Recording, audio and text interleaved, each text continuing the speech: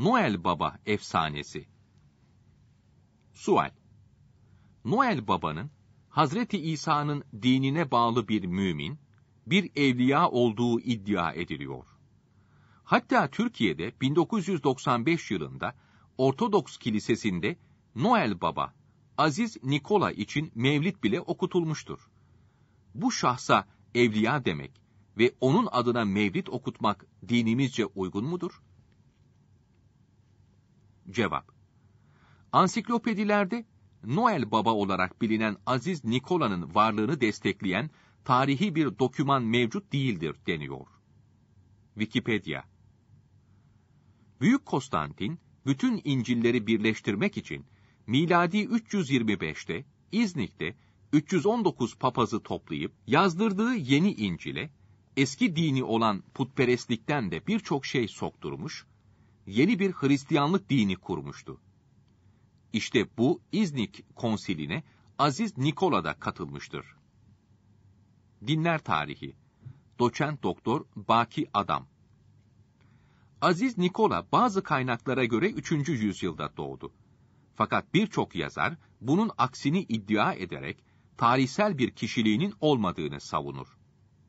Bazı kaynaklara göre de Aziz Nikola'nın 325 yılında yapılan İznik konsiline Mire başpiskoposu olarak katılıp Allah'ın birliğini savunan Aryusçularla tartışması ve tavır alması onun daha çok tanınmasına sebep olmuştu. Buradan anlaşılacağı üzere tevhid anlayışını savunanlarla amansız bir şekilde mücadele ederek Roma ve kilise nezdinde takdir edilmek istiyordu.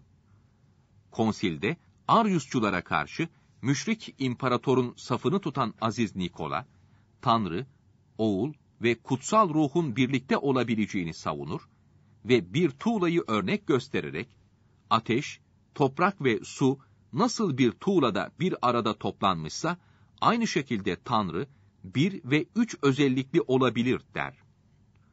Onun bu şirk kökenli teolojik saptırması kendisine duyulan ilginin artmasına neden olur. Lütfü Özşahin 25-12-2009 Noel Baba yortusunun safsata ve efsane olduğu ve İncil'de geçen Noel'le ilgili sözlerin birer peri masalı ve efsane olduğu, İngiliz Durkan Başpiskoposu Dr. David Jenkins'in 21 Aralık 1993 tarihli Milliyet ve 24 Aralık 1993 tarihli Türkiye gazetelerinde çıkan beyanatında açıklandı. 1993 yılında Çin'de, Hollanda'da ve İngiltere'de Noel Baba ile kutlamalar ve reklamlar yasaklanmıştır. Rehber Ansiklopedisi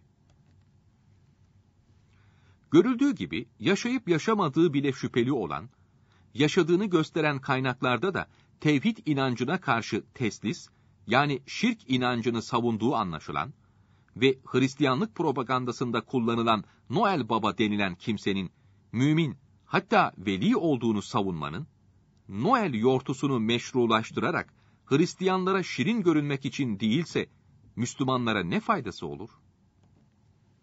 Noel Baba için mevlitler okutanlar, kabrine gidip tevessül edenler ve gayrimüslimlere hoş görünmek için Noel'i kutlayanlar olsa da, Müslümanlar böyle tehlikeli şeylerden uzak durmalıdır. Din kitaplarımızda deniyor ki, Nevruz, Mihrican ve Noel günlerinde bunların isimlerini söyleyerek hediye vermek haramdır. Bu günleri bayram bilerek vermek küfür olur. Bu günleri tazim ederek kafire yumurta hediye eden kafir olur. Bu günlerde bir şey satın almak da böyledir. Her zaman aldığını satın alırsa kafir olmaz. Dürrül Muhtar Bezzaziye fetvasında Nevruz günü mecusilerin bayramıdır. O gün mecusilerin yanına gidip onların yaptıklarını yapmak küfürdür. O gün bayram yapan Müslümanın imanı gider de haberi olmaz deniyor. Noel günü ve gecesinde ve kafirlerin Paskalya ve yortularında onlar gibi bayram yapanında kafir olduğu bu fetvadan anlaşılmaktadır. Saadeti Ebediye Müslümanların Noel'i kutlayarak imanlarını kaybettikleri bir dönemde, onların imanlarını korumak yerine, Hristiyanların, misyonerlerin efsane kahramanı Noel Baba için evliya demenin, mevlid okutmanın alemi nedir, anlamak mümkün değildir.